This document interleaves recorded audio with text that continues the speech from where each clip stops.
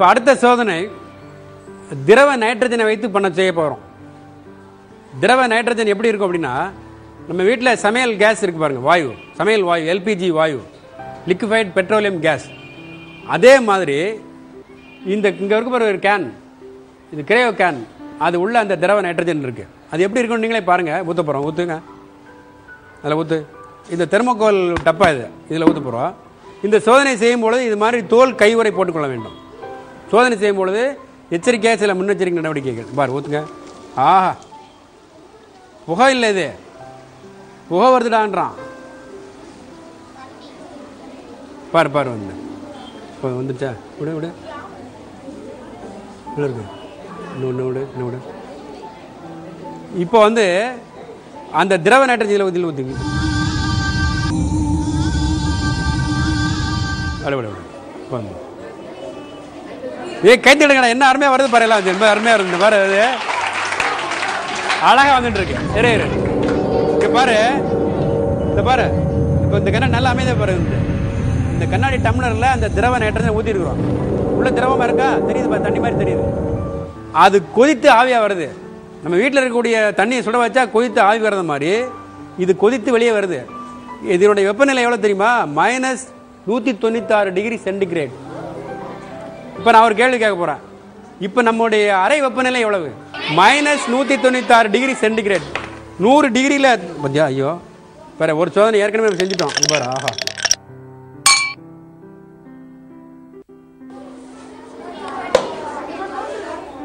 என்ன ஆச்சு? பாரு நம்ம நம்ம செய்யாமலே அது உடஞ்சு போச்சு. இது வந்து என்ன தெரியுதுன்னா மைனஸ் நூற்றி தொண்ணூத்தாறு டிகிரி சென்டிகிரேட் வெப்பநிலைக்கு ஒரு பொருளை கொண்டு போகும் பொழுது அதனுடைய இயல்பு தன்மை மாறிவிடும். இந்த கண்ணாடியினுடைய கண்ணாடியினுடைய இயல்பு தன்மை மாறிடுச்சு. புரியுதா வந்து? இப்போ இதே மாதிரி இன்னொரு சோதனை நம்ம செய்ய போகிறோம் இப்போ பாரு இப்போ கண்ணாடி உடஞ்சது இல்லை இப்போ பாருங்க நல்ல அருமையான சோதனை பாருங்க பாருங்க. இது என்னது? சரி போதும் போதும் போதும். இது ரப்பர் பால் இது கீழே போட்டால் ஏன் மேலே வருது?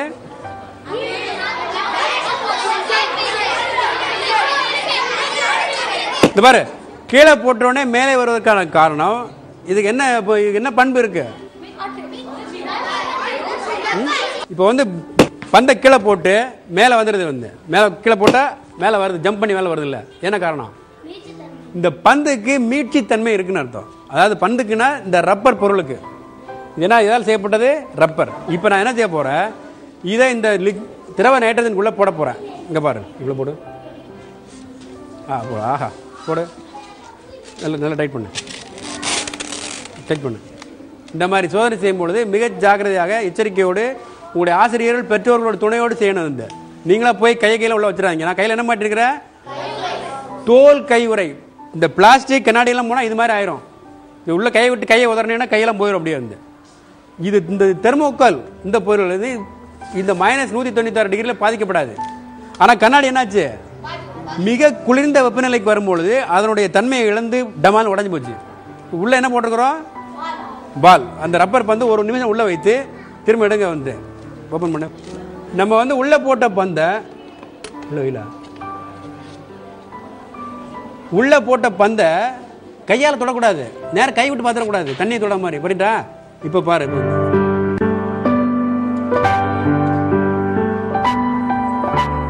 இப்போ பாரு எடுத்து என்ன பண்ண போறேன்? இந்த அருகே வந்து இப்போ நான் இதை கீழே போடுறேன். என்ன பாருங்க? இந்த பாருங்க. கீழே தரையில் விடுறேன் பாருங்க. இங்க பாரு. உள்ள உள்ள வைத்துட்டு வெளியே எடுத்து கீழே போடுறேன். என்ன ஆகுதுன்னு பாரு. ஆ? கை தட்டுறாங்கன்னு பாருங்க அமைதி அமைதி. இந்த பாரு. இந்த பாருடா. பாரு. இந்த ரப்பர் பந்து முதல்ல தரையில் போட்டால் இந்த மாதிரி ஜம் ஜம்னு மேலே வந்தது. திரவ நேற்றத்துக்குள்ள உள்ள வைத்து அதுக்கப்புறம் கீழே போட்டால் இதை மாதிரி கண்ணாடி மாதிரி ஆயிடுச்சு. இங்கே பாருங்க. எப்படி இருக்கு? எப்படி இருக்கு பாருங்க எப்படி? இங்கே உள்ள இங்கே வராது. அங்கே பாரு. இந்த பொருள் எப்படி இருக்கு பாரு? ரப்பர் பந்து இந்த ப- இந்த பந்து எப்படி சத்தம் கேட்குது பாரு? முத்து முத்துன்னு இருக்கு பாரு. என்ன காரணம் இது? இது வந்து கண்ணாடி ஆயிடுச்சு. இது எப்படி இருக்கு பாரு? இது வந்து ஜம் ரப்பர். அப்போ இதுலேருந்து என்ன தெரியுது? ஒரு இந்த ரப்பர் பந்தை திரவ நைட்ரஜனுக்குள்ள வைத்து வெளியே எடுத்தவுடன் அதனுடைய மீட்சித்தன்மை இழந்து விட்டது. மீட்சித்தன்மையை இழந்து விட்டதுனால அது பொருள் எப்படி ஆச்சு கண்ணாடி மாதிரி சிலிச்சலாம் ஒடுங்கி போச்சு. கண்ணாடி மாதிரி தான் இருந்தது. அப்போ இதுலேருந்து என்ன தெரியுது என்றால் ஒரு பொருள் மிக குறைந்த வெப்பநிலைக்கு கொண்டு போகும்பொழுது அதனுடைய இயல்பு தன்மை மாறி விடுகிறது சரியா? இப்போ இதே மாதிரி வேற சோதனை செய்ய போகிறோம் இங்கே பாரு. அங்கே பாருங்க. இப்போ உள்ள போ திரவ நேட்டத்தில் வைத்த பந்தை வெளியே எடுத்து போட்டோம் இந்த மாதிரி சில்லு சில்லாக கண்ணாடி மாதிரி ஒன்று ஒடுங்கி போச்சு. இப்போ கொஞ்ச நேரம் கழிச்சு பார்த்தேன்னா இந்த பல் பாருங்க எப்படி இருக்கு? இப்போ ரப்பர் மாதிரி ஆயிடுச்சு. இதுலேருந்து என்ன தெரியுது என்றால் இப்போ இந்த பொருள் அரை வெப்பநிலைக்கு வந்து விட்டது. மைனஸ் நூற்றி தொண்ணூத்தாறு டிகிரி வெப்பநிலையில் இருந்த பொருள் அதனுடைய இறுகி அது நொறுங்கும் தன்மை கொண்டது. இப்போ என்னாச்சு? இப்போ கீழே போட்டு பாரு நொறுங்காது. சரியா? இப்போ வந்து என்னாச்சு? நல்ல ஃப்ளெக்சிபிலிட்டி இருக்குது அந்த நெகிழ்த்தன்மை இருக்குது. தன்மை இருக்குன்னு போடுறது சரியா? அப்போ பொருள்களினுடைய வெப்பநிலையை பொறுத்து பொருள்களின் பண்பு மாறும் என்பதற்கு நல்ல எடுத்துக்காட்டு. சரியா? இப்போ இதே மாதிரி உங்களுக்கு வந்து கையில் இருக்கக்கூடிய பொருள் இது என்னது? இது திராட்சை பழம். பார்த்தா தெரியுதா? நல்லா இருக்கு. இதை என்ன செய்ய போகிறேன் இது உள்ள வைய இது உள்ளே போட போகிறான் இப்போ எது திரும்ப எடுக்கணும் இல்லையா? அதனால் ஒரு கண்ணாடியில் கட்டிருக்கிறோம்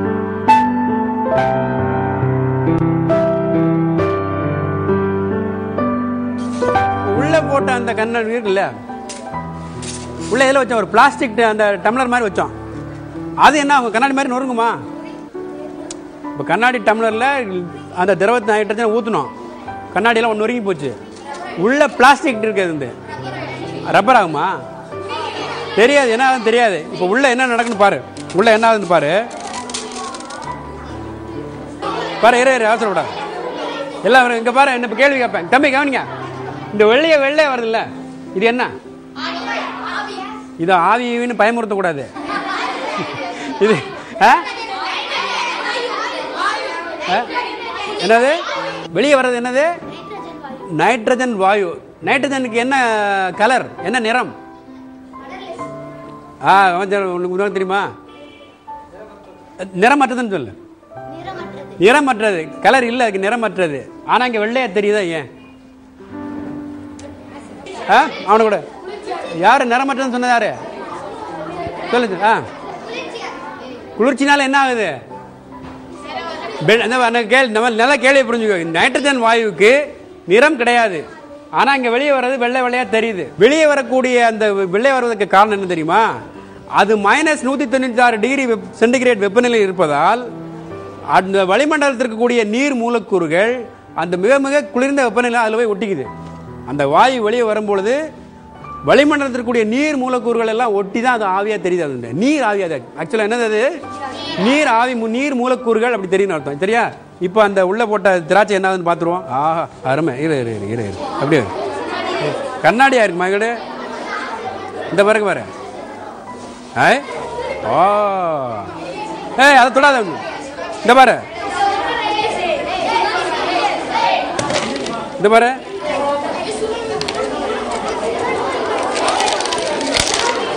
அருமை அருமை. இங்க பாரு. இதெல்லாம் என்னது? அட்டாதமா இருக்கு. ஆஹா. இந்த பாரு இல்லை இங்க பாரு. இப்போ நீங்க வந்து கவனி. ரெண்டு விஷயம் கவனிக்கணும். இந்த பிளாஸ்டிக் டப்பா உள்ள போட்டு அப்படியே எடுத்தோம். இது ஒண்ணுமே ஆகலை. இங்க பாரு. அப்படியே இருக்கு. இது கண்ணாடி பாட்டில் உள்ள பிளாஸ்டிக் டப்பா. அப்போ இது என்ன இது பிளாஸ்டிக் மைனஸ் நூற்றி தொண்ணூத்தாறு டிகிரி வெப்பநிலையில் எந்த பாதிப்பும் இல்லை. ஆனால் இந்த திராட்சை பழம் இங்க பாரு. திராட்சை பழம். அந்த நல்ல பழத்தோட எப்படி இருக்கு பாரு? கோலி குண்டு மாதிரி ஆயிடுச்சு ஆய் ஆய் ஆய் இங்க பாரு இந்த பழத்தை இங்க பாரு இந்த திராட்சை பழத்தை போட சத்தம் வருதா சத்தம் வரல ஆனா இதுல பாரு கையில் எடுக்க இரு. இதுல பார்த்தா என்ன வருது நல்லா டவுனு சத்தம் வருது பாரு என்ன காரணம் இப்ப கவனி இந்த திராட்சை பழம் கோலி குண்டா மாறினதுக்கு என்ன காரணம் நீ உனக்கு தெரியுமா சொல்லு மீட்சி தன்மை இங்க ஒண்ணும் கிடையாது இப்போ உனக்கு உனக்கு இரு இரு இரு, உனக்கு புரியல இல்ல?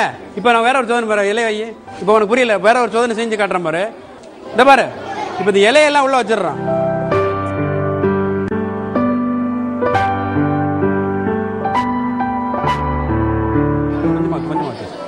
ஆ, போதும் போதும் போதும் போதும். இல்லை வச்சா ஆ இங்கே பாரு. இந்த பாருடா. உள்ளே போட்ட இலை இந்த பாரு. ஐ அழகா அப்புறம் மாதிரி நொறுங்குது. இருக்குதா இப்போ கேளு. இந்த மாதிரி.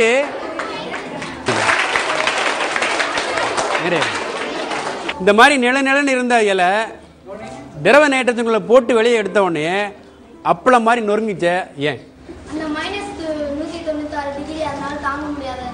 ஆ. இதை தாங்க முடியலைன்னா அதுக்கு நான் ஜுரமா அடிக்க தாங்க முடியல அப்படி சொல்லக்கூடாது. என்ன இதில் என்ன மாற்றம் ஆச்சுன்னு சொல்லணும். நெடுநிலன்னு இருப்பதற்கான காரணம் என்ன? இலையில் நீர் இருக்கிறது. நீர் மிக குளிர்ந்த வெப்பநிலைக்கு போகும்பொழுது பனிக்கட்டியாக மாறுது. அதனால் மொறு மொறுன்னு அப்பளம் மாதிரி நொறுங்கி போச்சு. சரியா?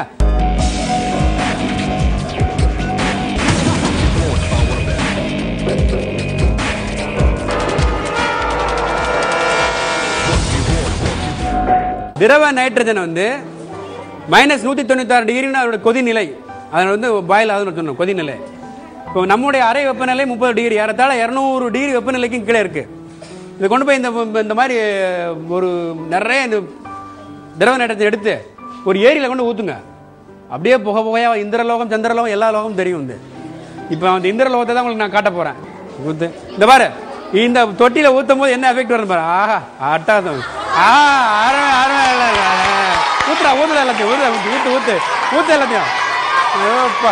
ஏய்.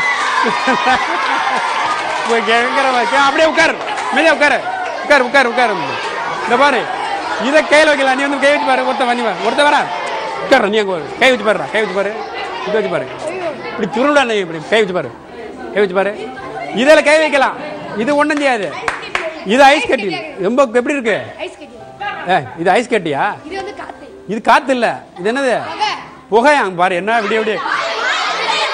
உட்காரு நீ பாரு உட்காரா? இப்போ இது மேல என்ன இருக்கு? தண்ணி இருக்கிறது. மீன் தொட்டியில் தண்ணிக்கு மேல என்ன இருக்கு? இந்த இந்த காற்று இந்த வரைக்கும் இந்த வரைக்கும் பாரு. திரவ நைட்ரஜன் அதிகமாக இருந்து காற்றை விட லேசமாக இருந்தால் மேலே போகணும். எப்படி இருக்கு? நீர் மூலக்கூறுகள் ஒட்டி கொள்வதால் அடர்த்தி அதிகமானதால் அதுக்கு நேர் கீழ் நோக்கி போகுது. சரியா? ரொம்ப ரொம்ப அருமையான சோதனை. என்ன சோதனை இது? இந்த என்ன வாயு இது?